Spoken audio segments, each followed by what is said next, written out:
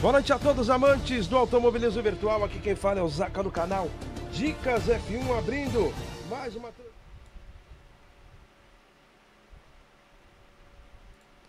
Amantes do automobilismo virtual, aqui quem fala é o Zaca no canal Dicas F1, orientação para os novatos aqui do clube sobre como adicionar o crossplay. Vocês vêm aqui em opções, configurações e deixa ativada a opção e notificação do crossplay para você receber convite. Feito isso, você vai entrar na sala do clube. Como funciona para entrar na sala? Vai no F1 World, depois do F1 World, vocês vão em jogar, depois de jogar, vocês vão até o Grand Prix Multiplayer, e aqui no Grand Prix Multiplayer vocês vão ter que buscar uma sessão pública e normalmente se você apertar o botão que filtra, que fica à sua direita ali no HUD e colocar América do Sul, Aí você vai ter só salas da América do Sul e vai aparecer aqui. Normalmente eu coloco Mônaco, Dicas F1, até ali 9h45 quando a corrida é 10 horas, até uh, ah, 7h45 quando a corrida é 8 horas. 7h50, 21h50, mas nesse horário já começa a encher de gringo e aí eu vou removendo os gringos para vocês entrarem. Uma vez que você entrou na sala, aí você vai é, comunicar aqui com os servidores e vocês vão precisar ver o, o Dicas F1 ali que está dentro da sala e adicionar como amigo e não é muito difícil. Você entrou na sessão, você vai clicar em cima do nome é, de uma pessoa aqui e coloca adicionar como EA. Eu vou fazer a mesma coisa quando você entrar na sala.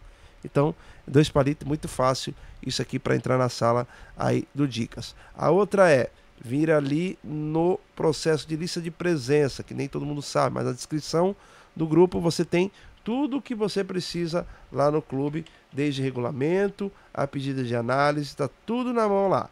É só você clicar lá na, no seu celular, aí você vai pôr lá no Ler Mais e aqui você vai ter tudo ali. Proibido venda no grupo, aquelas informações que eu passo sempre.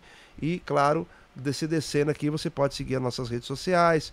Tem o regulamento ali, tem o pedido de análise, a tabela, que é um link que você acessa e usa ali do Power BI, que ela é feita já online pelo TJ. Lista de presença eu coloco no grupo. Eu sempre peço que vocês marquem, avisem na equipe sobre a lista de presença. Por quê? Elas vão estar em abas aqui, ó. Clube 1, Clube 0, todos os grids da temporada. Seu nomezinho vai estar aqui. Aí você só vai marcar aqui ou não. Precisa baixar a planilha do Google, se vai ou não vai.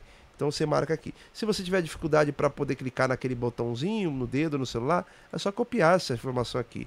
Essa coluna é para quem vai substituir. Aí a pessoa que quer substituir, ela coloca o nome dela porque ela vai estar no dia online e no horário. Se ela for apta, por exemplo, ela é da equipe, ela colocou o nome dela aqui, e o piloto da esquerda, que é o titular, não vai, aí eu já até marco aqui verdinho que esse piloto vai substituir. Quando não tem ninguém da equipe, aí eu ponho o laranja e o ranqueado.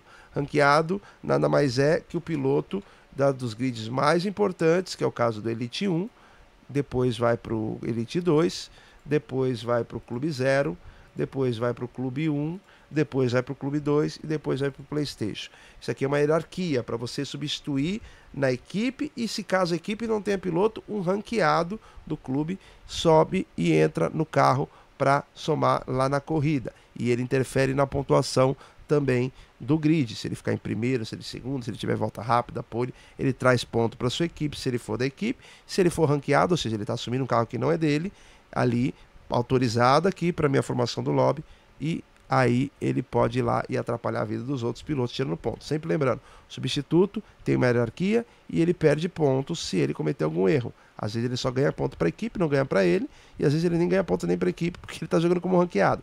Então é uma questão de tomar muito cuidado nessa corrida. Vai fazer quali, vai fazer corrida normal. Passa a informação que é muito importante, nem todo mundo sabe.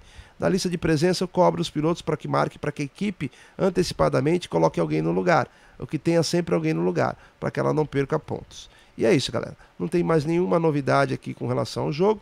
Quando chega no final lá, eu fecho a sala apenas para amigos aqui e para convites. Aí sim eu vou mandar convite para vocês, caso caia. Na primeira sessão, quando eu abro, vocês têm que entrar na sala pública. É muito importante. Depois faça as configurações corretas do lobby. E se eu mandar convite para você, lá no topo à direita vai ter um botãozinho para você apertar.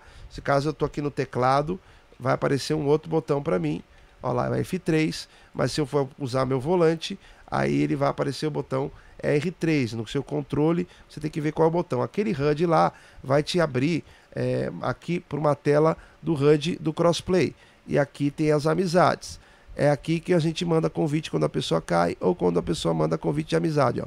Por exemplo, esse piloto mandou convite para mim, eu já aceitei. Esse aqui também. Mas o ideal é ele entrar no lobby ali pela primeira vez para eu descobrir a ID dele, que às vezes sai diferente. Aparece uma ID na EA e no jogo ele usa outra.